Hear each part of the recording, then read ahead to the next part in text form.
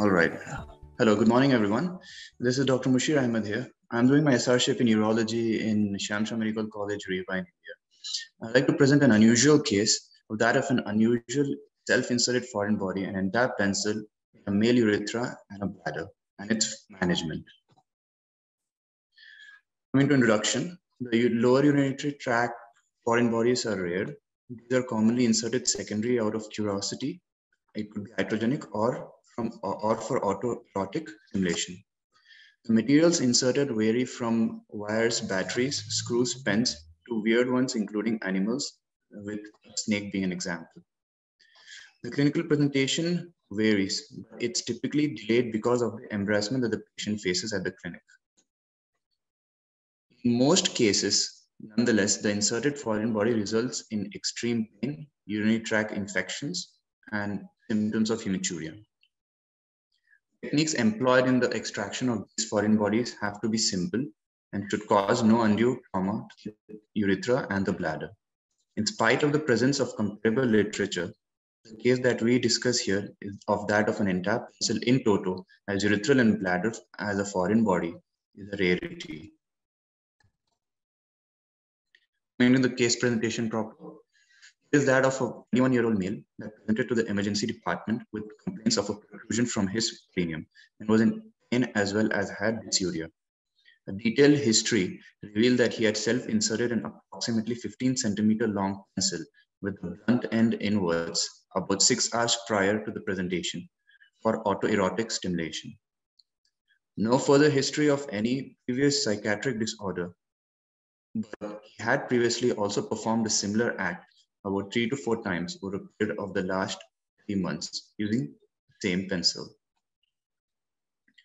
Into the clinical examination, one end of the foreign body was clearly visible and palpable in the perineum, in the posterior urethra, as can be seen on the left picture. On examination, it was palpable in the bladder as well. A plain radiograph was done, and it did not reveal a clear or well demarcated foreign body, as can be seen here.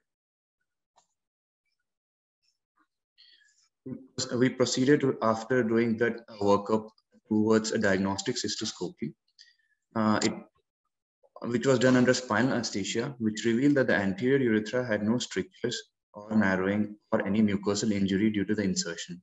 The foreign body was found lodged in the membranous urethra, extending proximally via the prostatic urethra through the external as well as internal sphincters into the bladder.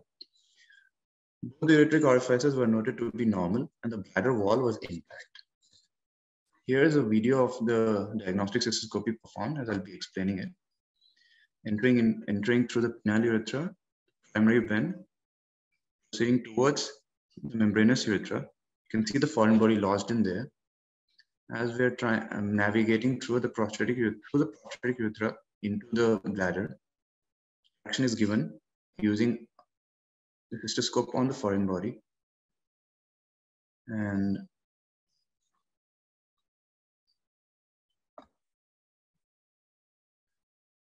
the prostate surrounding the foreign body moving towards the internal sphincter.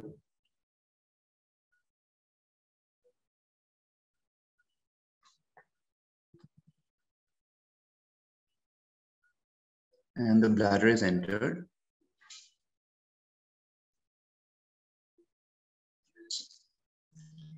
Which there, uh, there was no distension of the abdomen which proved that the bladder wall was intact. Bladder swelling was seen on clinical examination as well, and uh, is seen tightly lodged in the dome of the, the dome of the bladder. Internal orifices were normal. Under the treatment aspect, endoscopic extraction where the urethra seemed impossible and open suprapubic transvesical extraction of the entire pencil was done successfully. The bladder was repaired in a standard fashion. Peripheral silicone catheter and a suprapubic catheter, along with a drain in the space of Retzius, was placed. The drain was removed on postoperative three prior to discharge, and in subsequent follow-ups, the urethral and the suprapubic catheters were removed as well. Here's some of the intraoperative findings.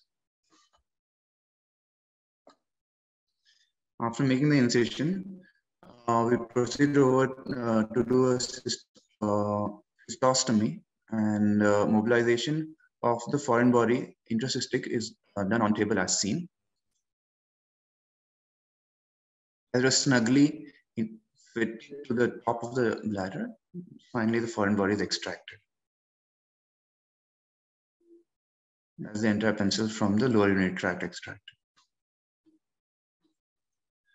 This is the foreign body that's around 50 centi 15 centimeter measured and postoperative shows uh, approximately 1.5 centimeter incision that was repaired in layers with a drain uh, in the space of Retzius the 16 French catheter placed uh, suprapubic, suprapubically for drainage. There was a periurethral catheter placed as well.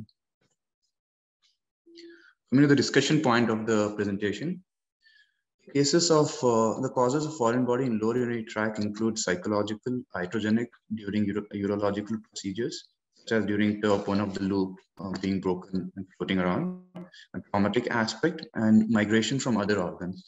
In psychological aspect, various circumstances, including exotic impulse, mental illnesses, borderline personality disorder, sexual uh, curiosity, sexual practice while intoxicated, and so on result in self-insertion of the foreign bodies into the lower urinary tract. Most common motive among these is found to be sexual or erotic in nature. Various options that are reported for the treatment of such foreign bodies in the urinary bladder, for example, include endoscopy, laparoscopic uh, removal, percutaneous removal, radiological, and open surgery. In some cases, a combination of these techniques is used. Ultimately, the availability of surgical instruments, uh, the urologist's experience plays an important role. The urethral foreign bodies that are inserted via the urethral orifice usually migrate into the bladder by being pushed further into the urethra during the uh, process of removing them by the patient himself or by the involuntary perineal muscle contraction. The success rate of the endoscopic management is high but open procedures become inevitable in certain cases with perineal urethrostomy or suprapubic cystostomy as done in our case, being the other options available, depending upon the type and nature of the foreign body. In our case, the foreign body, a pencil was impacted in the urethra and the bladder and could not be retrieved by cystoscopic maneuvers. Open cystostomy, open cystostomy was done upon in order to access and retrieve the pencil thus avoiding bladder or urethral injury. With prompt diagnosis, coming to the inference, uh, with prompt diagnosis and accurate management, lower urinary tract foreign bodies can be removed successfully, but uh, complications such as stone or fistula formation and infections do occur if the foreign bodies remain entrapped for extended duration of the time. Certain case reports have also documented complications as extreme as sepsis and uremia, resulting in the death of the patient. Finally, patients are advised for psychiatric, for psychiatric evaluation, but our patient in this case refused the consultation.